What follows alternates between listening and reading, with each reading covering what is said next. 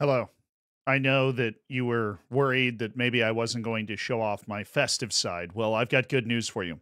I was leading the Easter egg hunt today for uh, some of my younger cousins, and I decided to bring that attire into this conversation. Perhaps, particularly, just to show off my incredibly devilishly good looks, my appeal to any and all seasons, but also maybe to lighten the mood, particularly for Bayern Munich fans, because something happened that made me think of one line Ding dong, the witch is dead. Now, that's got nothing to do with Easter, obviously, but we'll just go ahead and leave this on for the rest of the thing. I don't know. I think I look great, and that's all that matters, right?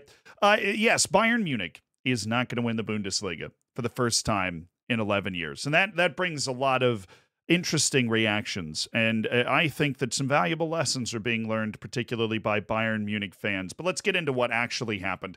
Der Klassiker is what actually happened. Dortmund beat Bayern Munich 2 to nothing which was a fantastic move by Dortmund. I do love the fact that apparently the only time Dortmund can win this match is when it doesn't matter for Dortmund's title chase. Uh, it reminds me of that scene in in I I just recently watched like all of the Marvel movies. Well, not all of them because that's not physically possible. You'd need three lifetimes to do that. But like I I recently finished watching all of the uh what are they called? The avengers movies. Then there's that one stone. I think it's the soul stone that they're trying to find. And there's one guy that leads you to the soul stone and it's like I, you know, I can only lead people to it. I can't attain it myself. That's basically what Dortmund has done in this particular situation. Bayer Leverkusen was already 10 points clear of Bayern Munich. This whole situation had already been finished, and Dortmund just decided to stick the final nails in the coffin, which I'm sure felt very good for Dortmund, but they're still in fifth somehow. They they just haven't really been in touch all season. Granted, nobody's in touch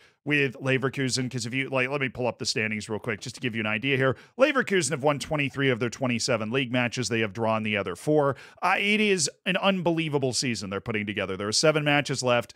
They're 13 points clear. That means if Leverkusen wins three of its last seven matches, it will be the league champions. And as a result, you add something that is pretty remarkable. Thomas Tuchel in a ma- in a race where you know, he's obviously already been fired. He's leaving at the end of the season, but mathematically, they're still alive. He comes out and says, Congratulations to Bayer Leverkusen. The title race is over. As much as I'd love to believe this is some sort of mental game to get some sort of complacency into Bayer Leverkusen, I really think that Thomas Tuchel's just kind of given it up. Like, He's given up the game at this stage. Bayern is still in the Champions League. That's what they're going to focus on. That's their opportunity to finally get a win in, in, in like a, a single competition. Not for Bayern, obviously, but for this man. Because what really went viral and what I actually really wanted to talk about off of this is this video. I'll just go ahead and play it. This Harry Kane after the loss in Der Classic. That's deep, guttural, serious physical pain there. I mean, I feel that. I, I I'm gonna be I'm gonna be straight up here. I, I clown on Harry Kane and Tottenham all the time. I personally as somebody wearing bunny ears in this video, I like making fun of people all the time. I make fun of myself. I, I think it, it's cool to keep it lighthearted. It's cool to make jokes about everything. Makes life easier, probably. And and I as, as such, I make fun of Harry Kane a lot, right? There's a lot of easy, obvious Harry Kane jokes about, well, wouldn't it be funny if Tottenham won the league and somehow Bayern didn't win a single trophy? Well, now they're out of DFB Pokal right now they are they're not going to win the Bundesliga unless there is an all-time collapse on the way here, right? And and you can see how much this is starting to weigh on him. Because I want to be very, very clear about something. Harry Kane is one of the best strikers in the history of the game, right? He is not R9, right? I, he's not Gerd Muller, right? He's not Messi or Ronaldo, right? He's probably not even Erling Haaland, Although I will make an argument that he plays a more aesthetically pleasing game than Erling Haaland most of the time. Uh, but if you're making a list of the top, I'd say 10 strikers that have ever laced up the boots and played, we're talking about a guy that scored more goals for England than anybody. We're talking about a guy that's got you know a couple hundred goals in the Premier League. And it is really hard especially in the modern game where there's so many trophies. You have League Cups, Super Cups, right? But you, have, of course, have to win another cup to be involved in that, unless somebody like wins all the cups and then you finish second and then you can get in a Super Cup. Uh, Europa League, even Conference League, which of course Spurs was in while he was on the team, and Spurs found a way to like plummet out of that as well. It's really hard to not win a trophy while achieving at the level that Harry Kane has been achieving at. And when you you can tell that it weighs on him right? And the idea that he's not clutch, I, I always believe there are certain players that are incredibly clutch. They are on another level of, of how clutch they are, right? Where it, Didier Drogba is somebody that comes to mind, scoring in all those cup finals, like people that just are able to elevate their game for that, for, for those particular moments. They find another gear. But you know what? The vast majority of players, they aren't like that, right? And I, have got nothing against somebody like Phil Foden. He's he doesn't strike me as somebody that's like that. I don't know. I, I think Erling Haaland is arguably the best player in the world right now. I don't think he's particularly like that. He's just a really good player that scores a lot of goals in a lot of games, but he's not somebody that seems to just absolutely take over in those big moments. I think Kylian Mbappe is actually like that, at least when he's playing for France. Right? So the idea that Harry Kane is not him not being somebody that just dominates in the most important matches, that doesn't mean that he doesn't deserve to have won a trophy at some point. Because you know what? Erling Haaland still has a bunch of trophies. Phil Foden still has a bunch of trophies. Gabby Jesus has a bunch of trophies, right? And Gabby Jesus is a darn good player. But I'm just uh, like, I'm just saying here, right? You do not have to be Didier Drogba to deserve a trophy. And it is amazing that the level he's played at, as long as he's played, he does not have one. Uh, at, at any point, with any, you know, with any team. He's got the Audi Cup in the preseason, right, with Tottenham. And Bayern Munich always win. 11 straight years. It is amazing how long that run is. Like how many teams have won the Premier League in that span? How many how many different things that have changed in that span? I mean, PSG's lost the league multiple times in that span in France, and that always feels impossible.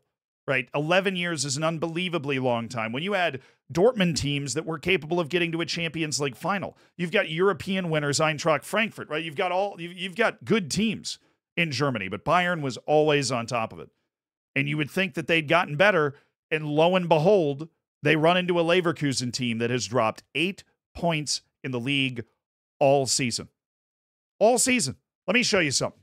Another reason that I uh, perhaps I feel bad for Harry Kane here, and I do think he will win a trophy at some point. If we look at the table right now, let me see if I can pull this up for you. Right, if we look at the standings right now, Bayern Munich's on 60 points with seven matches left. This is what the table looked like last year. Bayern is on pace, I would say, to finish with more points than they did last season. Right? All they have to do is win, I would say, four or five of their last seven in the form they're in right now. That is probably not anywhere close to a guarantee, but it's certainly within reach. It's not like they have to go perfect or anything in order to reach what they reached last year to win the league. Right? Dortmund bottled it on the final day with a draw, and, and Bayern won the league with 71 points. D- dude, Leverkusen with seven matches left already has 73. Harry Kane, outside of the two matches where they play against Bayer Leverkusen, has no control over that. Right. And and I it is amazing what they're doing, and I'm so happy for Xabi Alonso, but I just feel bad. I feel very, very bad for Harry Kane because he does he doesn't deserve the mountain of slander he's about to get. And I'll be honest, there's a lot of great storylines that can always come out of a Champions League. You know, from from Arsenal being able to win uh, a Champions League for the first time ever, right? That's still in play. You've got Atletico Madrid still in there, and that would be kind of the crowning achievement for Simeone. There's plenty of Real Madrid returning to the precipice, Manchester City announcing a dynasty. There's so many great storylines in there. But if I had to pick one storyline to be in there would be Harry Kane scoring a winning goal in the Champions League final, just to evict all of those demons. It'd be an exorcism at midfield, right? We'd turn it into a terrible horror movie in a couple of years. The experience that he would have, the monkey off his back type of moment that would occur. Because going back to him not being a clutch player, I mean, we're talking about a dude that scored a penalty in the in the World Cup quarterfinal against France. But all everybody remembers is that he got a second one and then happened to miss while going up against somebody that he played with for a decade and definitely knew all of his penalty tendencies, which adds an even higher level of the mind game. This dude stepped up and cashed brilliantly, converted a penalty in a World Cup quarterfinal. He is capable of delivering in big moments. But Bayern Munich looked toast. Thomas Tuchel has admitted defeat in the Champions League quarterfinal is their absolute last hope. He will get a trophy at some point, right? Or I, you know, I will wear. I, it'd be surprising because the way players retire, like He's going to retire 12 years from now, but you can hold me to this. I'll wear these bunny ears for a whole month if Harry Kane retires without having won, you know, a major trophy, League Cup and up. All right. And I'm not talking in the Saudi League. I'm talking in Europe. Okay, I'll dust these bunny ears off, and I'll and I'll wear them for a week because I think Harry Kane is going to get that trophy. I, he's going to deserve that trophy, and I can't wait for him. But I also said this is this is good character building for Bayern because when you've won the league 11 years in a row, This is not something you normally have to deal with. Watch this. We've got fans leaving. Fans leaving with five minutes to go in Der Klassiker. Now I'm gonna I'm gonna take the opposite approach here. I'm not I'm not getting mad at them for leaving. I'm just saying good. Uh, you cannot get everything you want in life. And if you are a 15 year old Bayern Munich fan, you've won the league every year you can remember. You've also cashed in a Champions League. You've dominated London teams. You've dominated Barcelona over that time. You had Lewandowski, one of the preeminent bagmen of the last 25 years, just slotting goals for the last decade after you stole him from your biggest rival. You've had everything that you wanted.